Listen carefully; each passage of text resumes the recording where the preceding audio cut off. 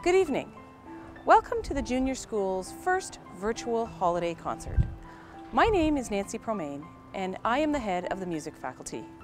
Tonight you will hear from many talented students in the junior school as they have been preparing and are excited to perform for you this evening. I would like to thank the following people for their help in putting these performances together. Firstly, the junior school administration and faculty for their support, the technical crew and communications department for their advice and expertise. And finally, I'd like to express my gratitude to the music faculty for always taking the time and effort to make our students shine. You are so greatly appreciated. Now, sit back, relax, and enjoy the show. Thank you, and happy holidays.